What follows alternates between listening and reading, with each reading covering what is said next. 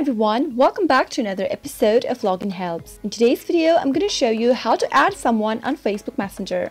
Keep watching the video till the end without skipping and don't forget to subscribe to our channel by hitting the subscribe button. Press the bell icon so that YouTube will notify you whenever we post a new video. To add someone on Facebook Messenger, you'll need to add someone on your Facebook. Facebook friends are automatically added to the Messenger application when you sign into Messenger with your Facebook account login details. However, if you'd like to add someone with your Facebook Messenger application, then tap open your Facebook Messenger and from your chat screen, tap on the people icon at the bottom right. From this page, tap on the human icon with a plus in it at the upper right corner. Now, from this page, you'll be able to see the people's suggestions that you can add on your Facebook Messenger.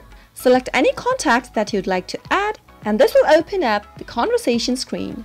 Tap on View Profile to visit their profile. Once you do that, you'll end up in their profile. Now, tap on Add Friend in order to add them to your Facebook Messenger contacts. Once they confirm your friend request, the contact will be added on your Facebook friend list. That is how you can easily add someone on Facebook Messenger. I hope you found the video to be helpful. If you did, go ahead and give it a thumbs up. Feel free to comment down below in the comment box if you have a question or a feedback for us. I'll be back soon with more tutorial episodes. Goodbye till then.